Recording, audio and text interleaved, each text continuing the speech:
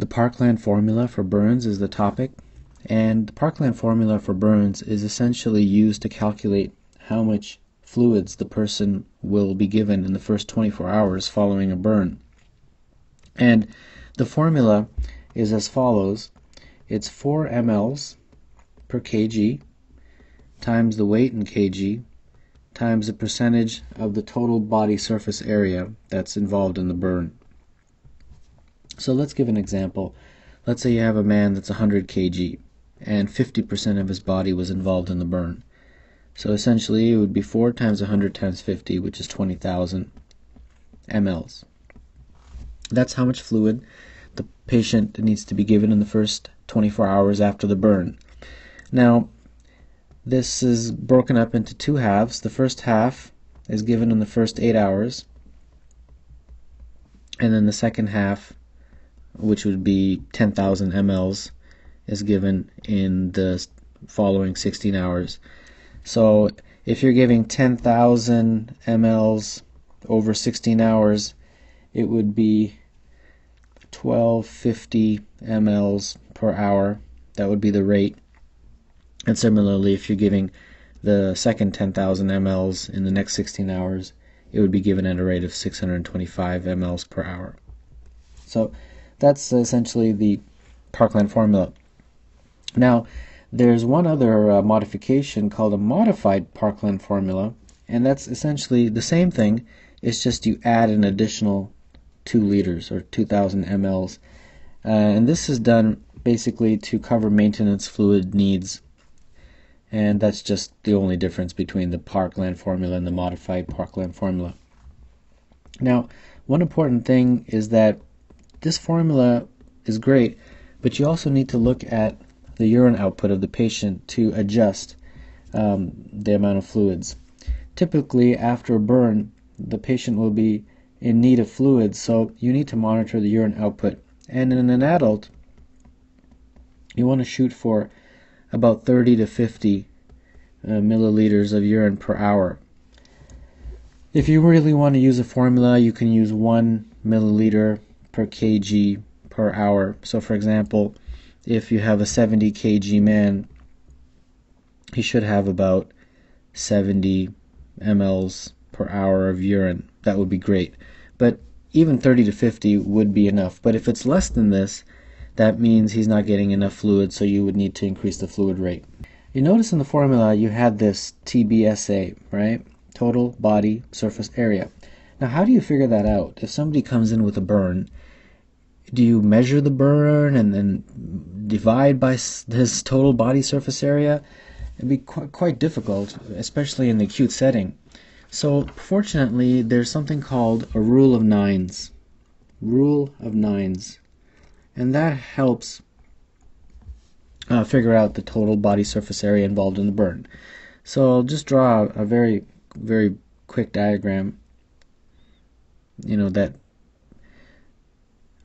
illustrates the body parts. And then I'll essentially tell you what each of these rules of nines are. For each arm that's involved, it's 9%. So that's the, the first part. If the head and neck are involved, that's another 9%. The trunk, the anterior trunk, is 18%, and the posterior trunk is another 18% and then the legs are 18% each.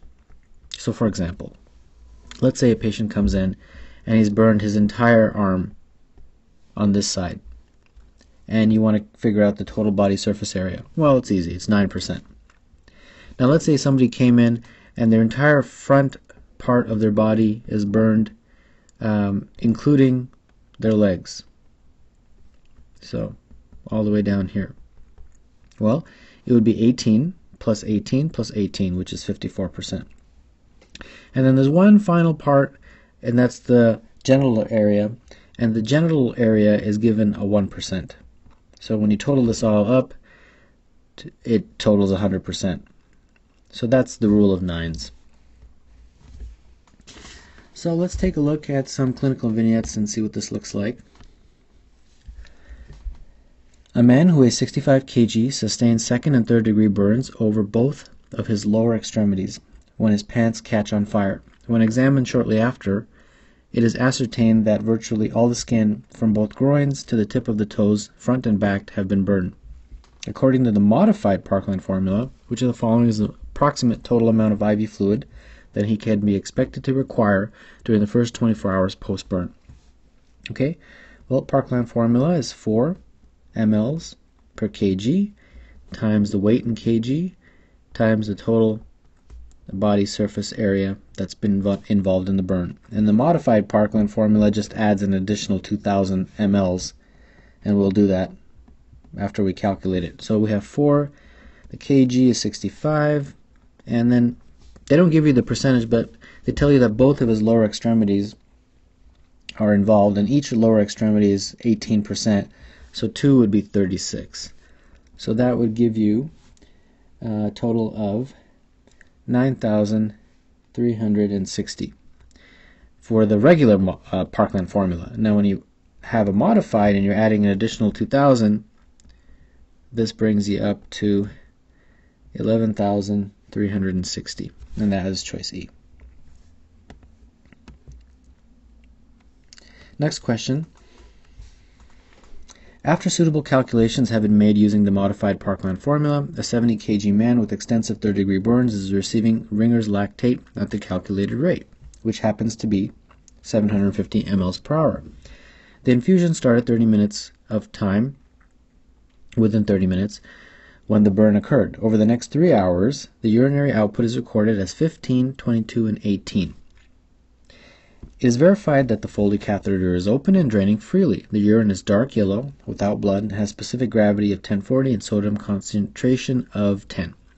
Patient's blood pressure is 100 over 70, pulse is 98, the CVP is 2. On basis of these findings, which of the following is the most appropriate next step? Okay, well, let's go through these. Diuretics should be given.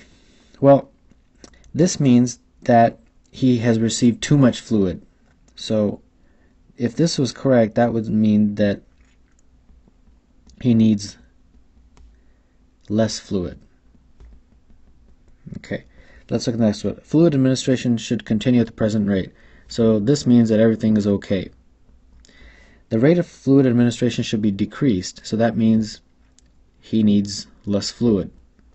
Because if if the correct answer is C, the rate of fluid administration should be decreased, that means he's currently getting too much so he needs less.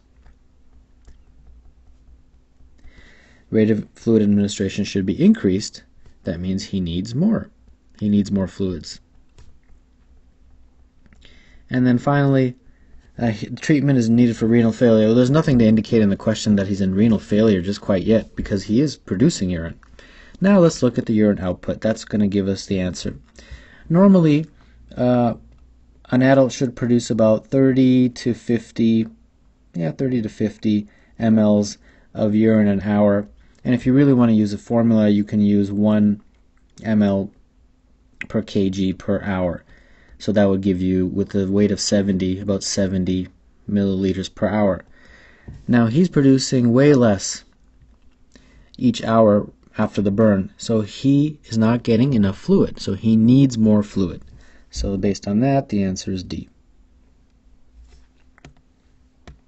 And then finally, the 68-year-old woman is brought to the emergency department after being rescued from her burning apartment building. She was found unconscious in her bedroom, which was full of smokes and flames.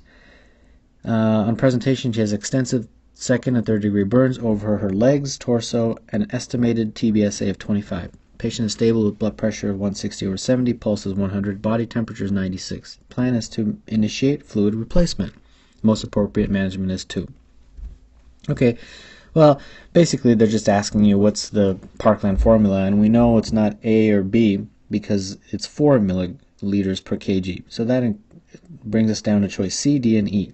We know that uh, we have the correct uh, formula here, so that's fine. So I guess the next part of the question will give us, do you give it over 8 hours, do you give it over 24 hours, or do you give one half in the first 8 hours? Well, we know that the answer is E. You give the first half in the first 8 hours, and you give the second half in the next 16 hours. Just before I close, I wanted to point out the difference between colloid and lactate ringers. Colloid uh, for those of you who don't know, colloid solutions, uh, examples of those are red blood cells given to patients, or fresh frozen plasma, or albumin solutions.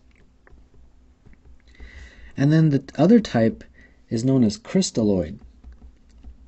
And crystalloid solutions include the saline that you commonly see given to patients and the ones that are involved a lot in burns, which are lactated